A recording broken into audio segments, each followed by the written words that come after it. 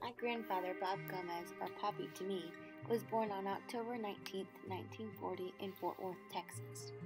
When I first asked him what two major events have shaped him into the man he is today, he quickly and excitedly replied, Easy, my marriage and my baptism. But after a long day of reminiscing and learning about my grandfather's life, I learned that these two events are really one and the same. My grandparents met in college. Poppy was at school at A&M and my nana was at school at North Texas State. Having been set up by a mutual friend, they began writing each other until my nana transferred to ACU to be closer to Poppy. Though their parents weren't too happy about their relationship, they fought to stay together until their senior year of college when he decided to take the plunge and ask her to marry him. Because their families weren't supportive of their decision, there was a total of five people at their wedding. They were married in a Catholic church in College Station and soon were pregnant with my Aunt Gina. And not too long after that, they had my mom and the youngest, Lisa. I asked Poppy what his life looked at, like before my Nana came into it, and he described a life unlike anything I would have pictured.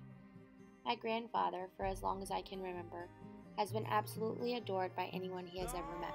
He is kind, gentle, goofy, and incredibly faithful. But he was not like this before Nana. He described a life of wild college years, having too much fun and being extremely carefree. He has always been an outgoing and loving man, but he lived a much different lifestyle than he did after my grandma sent him on the straight and narrow. He claims that my Nana changed him into the man so many people love and respect today, and without her, he would have been completely lost in a world that did not know who Christ was. Myself, along with everyone in my family and anyone who had the privilege to know my Nana, was affected greatly by her. She showed us how to love without ceasing, how to pursue Christ in all we do, and ultimately, how to encourage people greater than anyone I knew. My family would not look even slightly familiar without my grandmother bringing a faith and relationship with God into it, and I am so very grateful for that amazing gift. My grandfather grew up in a very strong Catholic family, but never truly had a faith of his own.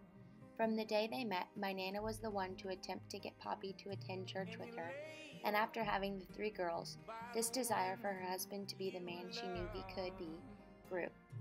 Nana was diagnosed with Hodgkin's disease, or cancer, when my mom was six years old. This shook my grandfather's world. They ended up having to move from El Acapulco, Mexico, to Houston, Texas, to be close to the MD Anderson Treatment Center there because of the severity of her cancer. This is where Poppy's faith came alive. He said he was stripped of any securities he once had. He had to move job positions to one with lower salary, medical bills were constantly coming in, and he didn't know if the family he had would remain whole. He learned to rely on something greater in this time.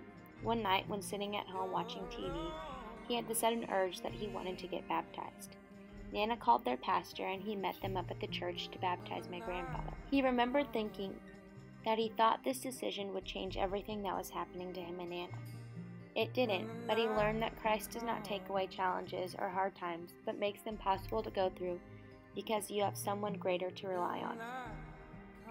My grandfather's decision to accept Christ into his life has built the backbone for our family. He has shown us how to accept those around us without judgment and without fear, and shown us what a servant hearted being is. My grandfather is a beacon for so many that encounter him throughout their life.